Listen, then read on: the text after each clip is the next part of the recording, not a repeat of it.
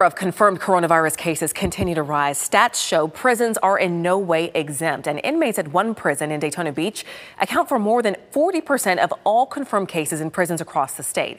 But for some, that's not exactly what's most alarming. Tomoka has the most uh, COVID cases of any prison in the state of Florida and he has actually uh, been exposed. He's on medical uh, quarantine. Marianne Comela's son, Jeffrey Nails Jr., was convicted of armed trespassing in 2017 and sentenced to three years in prison. She says he was transferred to Tomoka Correctional Institution in Daytona Beach a couple of months ago and is now scheduled to be released Sunday. But she's concerned. He's not been tested. And my question is when they release him, are they going to test him before they release him?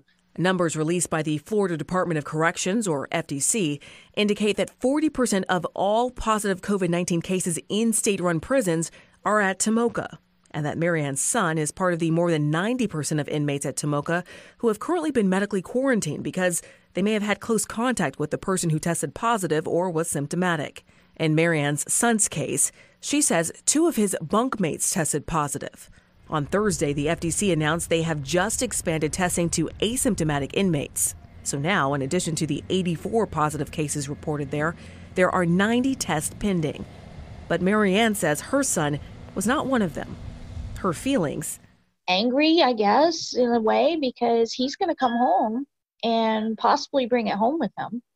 And then I'm going to be exposed. My husband's going to be exposed. I don't know if they have a plan so we asked point blank if the FDC had a specific release policy with regards to COVID 19 testing. And on multiple occasions, a spokesperson responded simply stating that they are in the process of formulating a response to our question.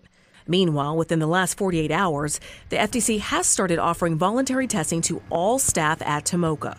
Welcome news to concerned correctional officers there, especially after a dozen staff tested positive. If I was a betting and wagering man, I would say that that the numbers are a lot higher than what we all know. James Baiardi is the president of the state's correctional officer chapter of the Florida Police Benevolent Association.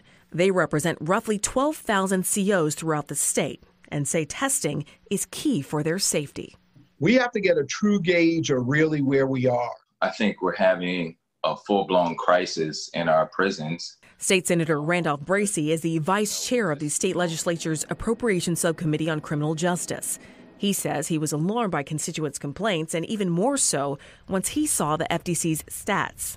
It just implies that they aren't testing nearly enough. So he was pleased to hear expanded testing has now begun. But additionally, he wants the governor to implement an early release policy for nonviolent inmates, inmates who are almost at their release date, older inmates, and or those with underlying health issues. I mean, you've seen recently uh, Corrine Brown was let out of the federal prison because of concerns that her health would be compromised. And so if they can do it in the federal prison, I don't see why we can't do it in the state now, right before we went on, FDC emailed out updated numbers, and the number of positive cases at Tomoka have now gone up from 84 to 128. So they now account for about 44% of all cases statewide instead of just 40%. As far as a response about a release policy, I did reach out again just a couple of hours ago to the FDC and have not yet heard back. Jim? We know you'll stay on top of it. Summer, thanks.